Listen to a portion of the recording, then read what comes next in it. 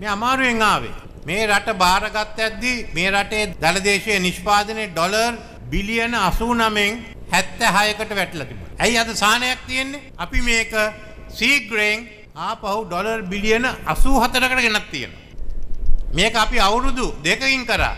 වෙනත් රටවල් අවුරුදු 5ක් 10ක් ගියා. ඒ බේත දුන්නේ නිසා කොච්චර බැන්නත් ඒ බේත දුන්නා.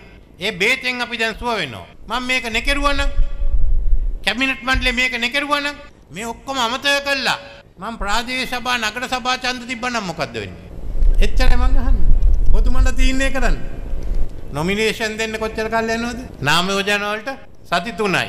ඡන්දේ තියන්න තව මාස දෙකක්. ඉතින් මාස දෙකමාරක් මේකනේ. ඊට ඉස්සෙල්ලත් ඉතින් මිනිස්සු දුවනවානේ නොමිනේෂන් ගන්න. ආණ්ඩුවක් ගෙනියන්න පුළුවන්ද? මේ මාස දෙකමාර නැති වුණා නම් අද අපි ඉන්නවද බිලියන 84ක එච්චරයි මං අහන්න තියෙන්නේ. ඒ වැදගත් මාසවලදී අපි ගිහින් කතා කරා IMF එක්ක අනික් රටවල් එක්ක මට පිටරට යන්න පුළුවන් වුණේ එයා මුණ ගැහෙන්න. මේ ඔක්කොම හැදි මම එක ප්‍රශ්නයයි අහන්නේ.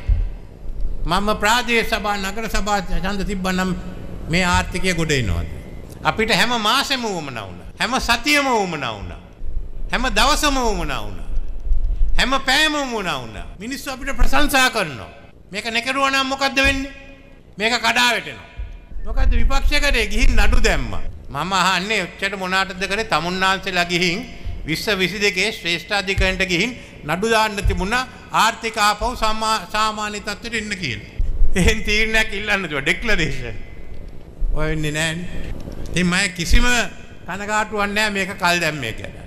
මේ රටේ ජනාධිපතිවරණයයි මහමැතිවරණයයි කල් දාන්න බෑ. ඒක ජනතාවගේ අයිතිවාසිකම. ඒ ඡන්ද අයිතිය මං ගරු කරා.